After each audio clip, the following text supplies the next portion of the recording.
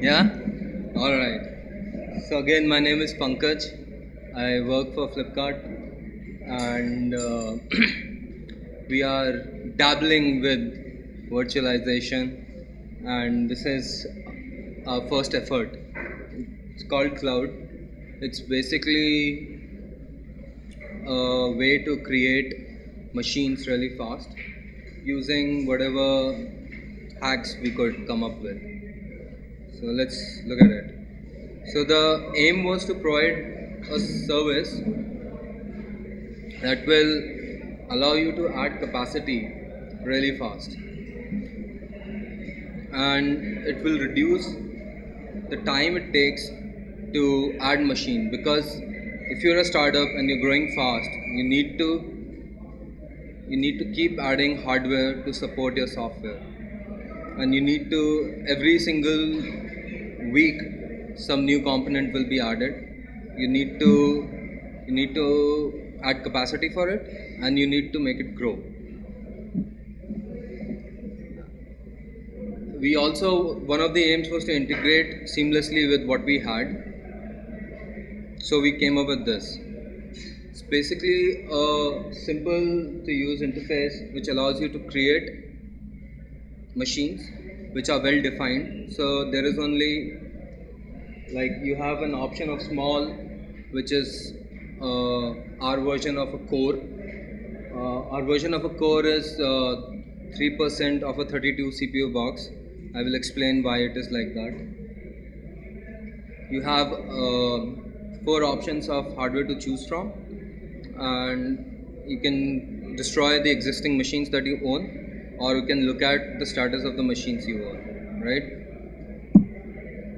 So we have a setup inside, it's called staging which is what the integration environment is. So for almost a year we were using three servers for staging before we came up with this environment. And within a month of getting this environment up the staging the number of staging machines reached 139 it's 3 to 139 time taken to allocate 60 servers. It's anything between 10 to 15 days because if you have ever put a server in rotation you know what it takes. You need to you need to install it. You need to uh, make sure it's up and running. You'll uh, you'll see issues with it. Even if you use kickstart or fai or something you'll always run into issues using uh, cloud it takes 10 to 15 minutes to allocate as many machines as you want.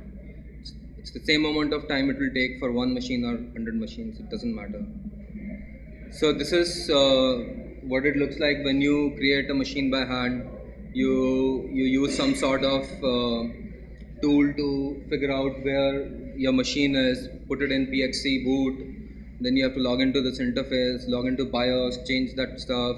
You have to boot it wait for it to boot then it installs itself so on and so forth. It's a long process. With the current setup you can make a small shell script to create as many hosts as you want. You also can use the web interface the same functionality is there with the web interface.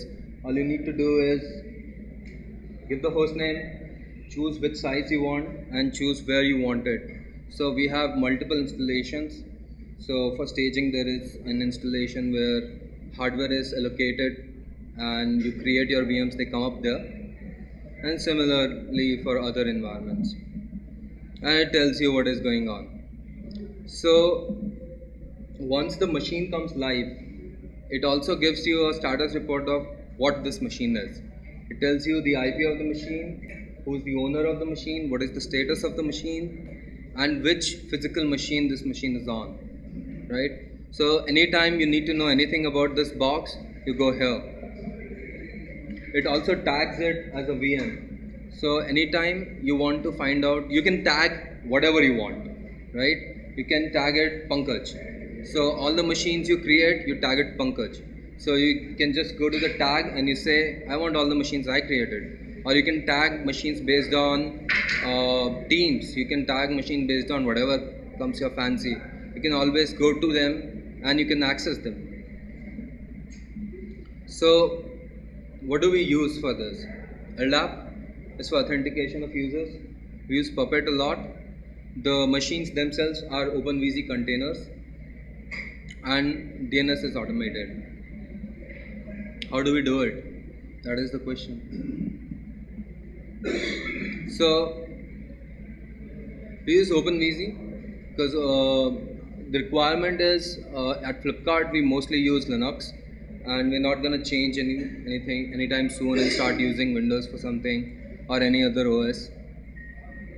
So since the requirement was mostly Linux, we decided to go for uh, OpenVZ because it works mostly like a jail, and that that matches what we want. We we don't really want a complete virtual environment because mostly the applications we're gonna run are going to run in a JVM itself. So we have that much control. So all we need is a place to contain people and share that hardware. We use puppet for automated roles. I will explain how this works. Uh, we build a host database for uh, for a lot of other things but the it the cloud uses the host database and really makes it work we use daemon tools for all sorts of things. And there is a free software, OpenVZ Web Panel, we use that as well. So this is like an explanation of what happens. I don't think you can read it, so I'll read it for you. So this is the front end or the API or the command line or whatever you want to call it. It interacts with every other component using an API. So the most important component is right here the host DB. So what happens is when you create a new VM using the command line tool or the uh, web interface, it makes a HTTP call to a physical node. Okay, this node can be equated to a name node. So this is the guy who controls all the other physical machines which can host VMs. They all talk uh, HTTP to each other. So this guy knows how many VMs machines are there to host VMs, uh, and it can connect to them and say create a VM for me. And this guy will create it, and this guy will tell this guy back, I created it. Okay. So when you create a host, what happens is the front end. This is called the FKVZ maker, the software. It makes two. It does two things it goes and creates a host DB entry, something like this. Something like this. It creates this entry because it knows what the IP is. It creates a service tag based on the IP and it creates a host name and other stuff it adds. It also adds the tag called VM. So this entry is created in this host database. And also it makes a call to this guy and says, make a small machine for me. Alright. This guy sends back, okay, I got it. And this guy says, your machine is ready, chill out. And all the other things. So let's uh, let's say this guy told this guy to make a machine, and goes to this guy and says, "You seems to be free. You make a machine." He makes this machine. So what happens is, when the VM comes up, it has a reboot task associated with it. So the first time it boots, it is told to execute a script. This is the Perl script. It executes that script. It's called Flipkartify. What it does is it downloads. Uh, it basically sets up the app repository. It downloads certain packages like Puppet. It sets up the keys, SSH keys for uh, root access. It does lot of these tasks and makes the machine ready for you to use. So once all that is done, it also runs a Puppet d-t. Okay so I will explain what that does. So meanwhile, what is going on is this guy has gotten the entry about this this new host that we are creating. So the DNS server runs a script on itself using daemon tools. It is a script that basically makes a call to HostDB and asks, "Do you have any new machines?"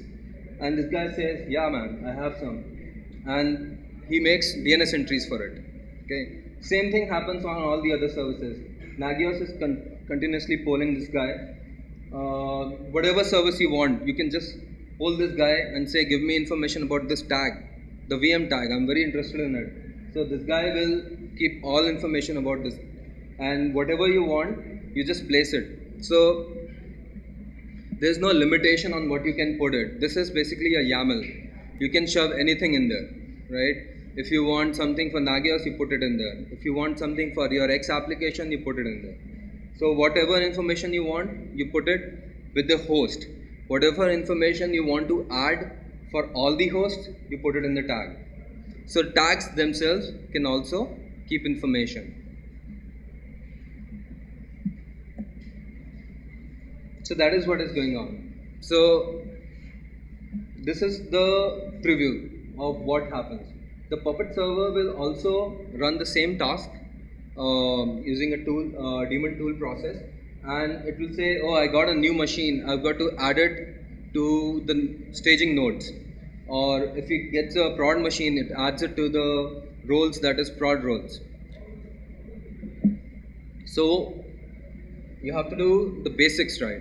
You have to first standardize the hardware because if you have non-standard hardware, you will spend a lot of time figuring out which machine you can host which VM and what can what you can do with it, what you can't do with it. Because if you have a standardized hardware, you know that on a VM I have 32 cores. I can only create um, 32 uh, one core machines or 16 two cores machine and so on and so forth right and you associate weight of ram with each core and weight of disk space with each core and then you go with it.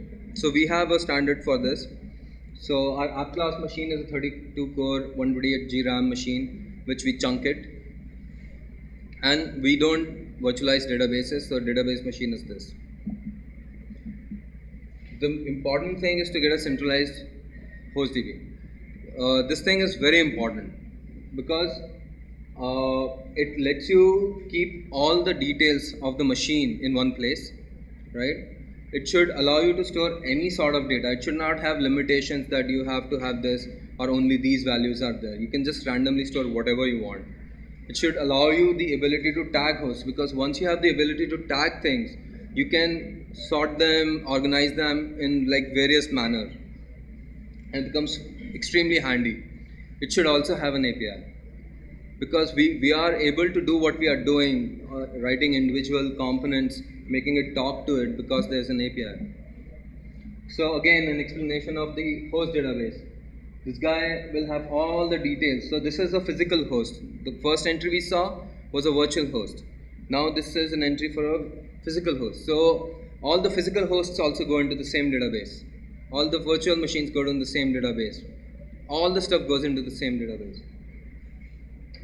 So this guy has these tags. So this is a this is an entry for a Nagios server, I think. Yes, it looks like a Nagios server. So this guy has also has the location of where this machine is. So you can anytime just go here and say this machine is in the fifth rack on the on this row. You can have this is a preview of a tag. So tag can have details associated with it. You can uh, say for all the machines in this tag do this. You put that information in the tag and all the machines you can read it for all the machines. So if you if you make a call API call for a tag, you get all the machines in it and you also get all the properties.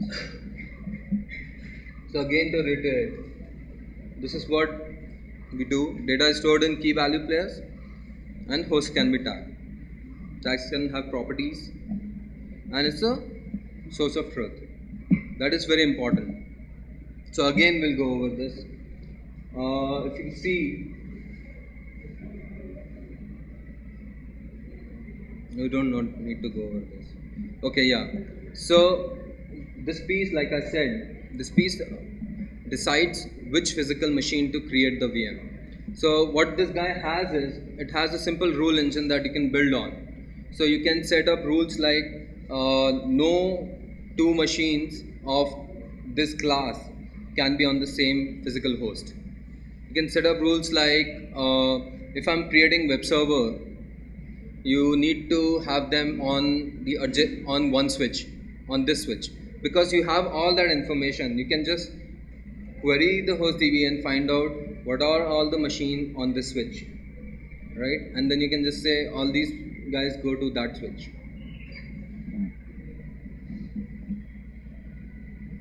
Examples. When a host comes up, it runs the task and then it connects to Puppet.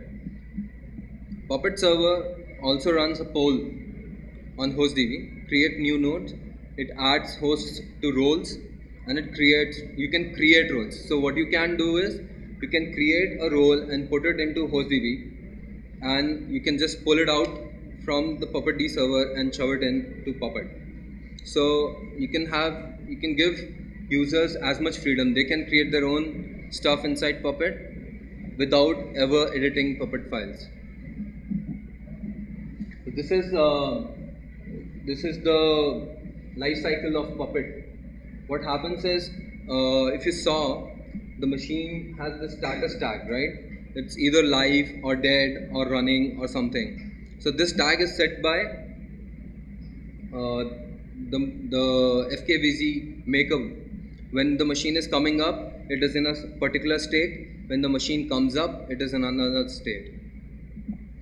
So when it is dead or planned, uh, so if you if you destroy a machine, so the the guy who runs the poll on Puppet, it will just delete all the certificates and everything for that guy, delete the node entries, and when you put it in another state, it will do whatever is necessary for it. Like in the running state, it will update the host DB and it will rebuild the stuff.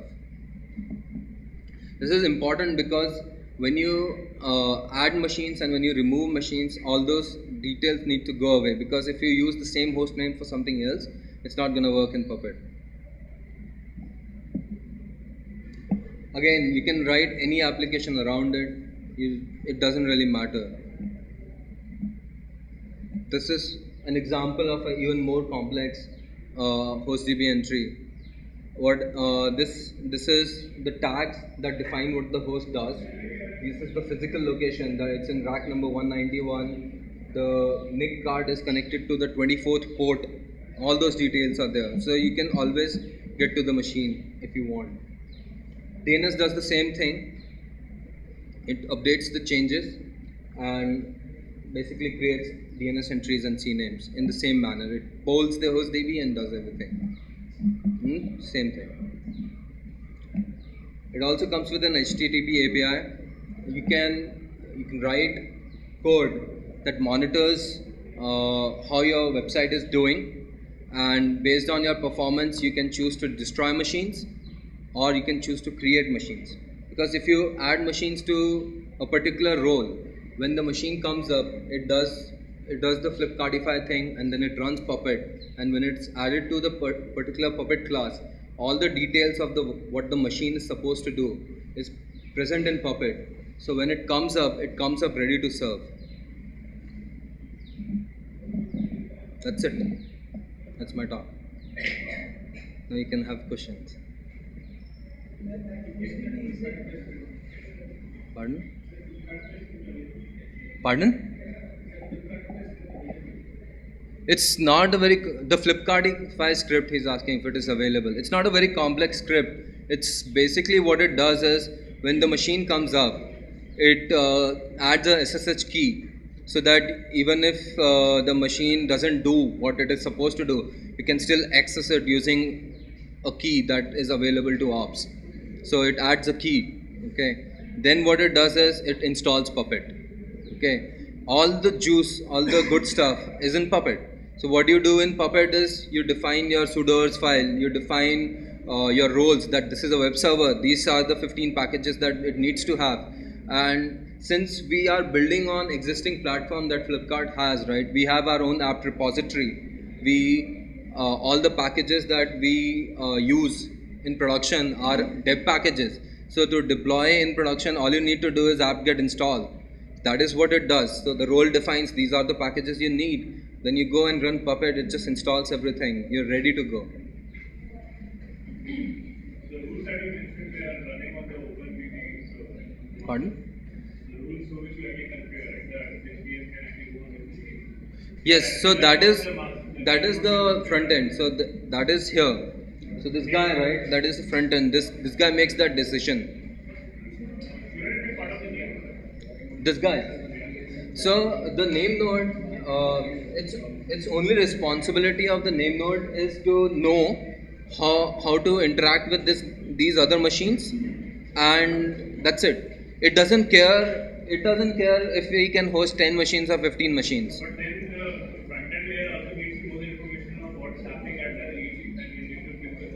It knows. So basically, uh, this front end queries this guy, says how many machines he got. This guy replies, I got this many. And that information also we keep here. So this guy asks, how many you got, how many you got, how many you got. So this guy will always know, I have headroom here. I have headroom here. And uh, each of these physical hosts on the running the VMs, they have the uh, ISO images of your multiple. Yes. So what happens is there is something called the OpenVZ web panel. Okay. So it's a software written in Ruby, uh, which which is free software. You can just download it and install it. I have a deb for it. I install it on all the machines, and what it does is it has a API key. So you give an API key. This is also through Puppet. All the machines come up. They have they you generate an API key for them, and you just connect it using to this guy. So this guy can talk to any of the machines. No, my question was, let's say, what a VM to actually have a, let's say, Fedora, let's say, Yeah, yeah. So, uh, so OpenVZ doesn't have any limitations on what you can or cannot have. So, if you can see uh, here, we have an option of uh, we have an option of OS. So you can have Debian 64, Debian 32. You can have CentOS, Fedora, whatever you want. As soon as long as you keep, the ISOs there, you can use it. Yes, each and every physical node needs to have.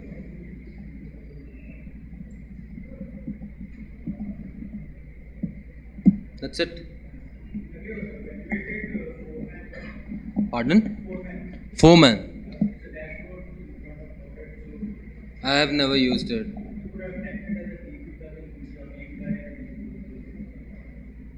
Does it? It, it acts like a database for Puppet. Instances. Then what? Pardon? It's based on files. So basically, it's an implementation of SVN. You so in HostDB, you can. It's based on SVN. You can basically go back a version, so it will always keep all the versions.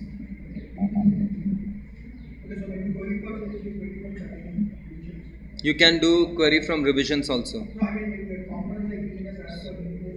So it will always query trunk or something. Or you can actually. Uh, how you get the new servers? Because you just uh, say, give me VMs whose status is planned. So it just gives you the new ones. Or actually, what we do is uh, we basically generate the entire file all over again. We just generate the entire file all over again. No, no, we just generate the entire thing.